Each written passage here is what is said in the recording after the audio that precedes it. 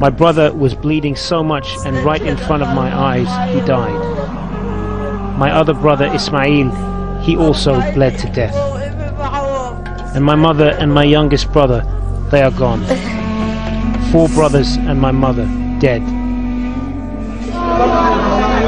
Daj, tak?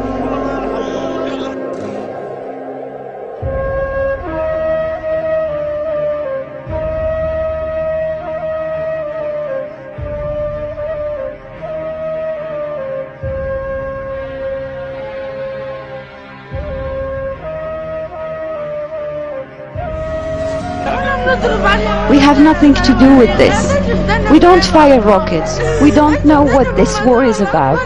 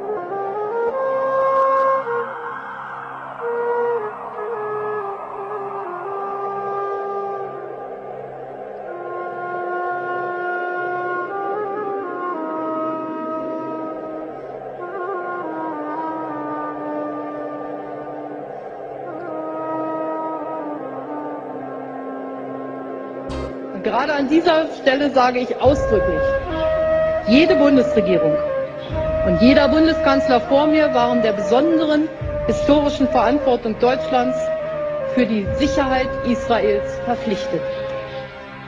Diese historische Verantwortung Deutschlands ist Teil der Staatsräson meines Landes. Das heißt, die Sicherheit Israels ist für mich als deutsche Bundeskanzlerin niemals verhandelbar.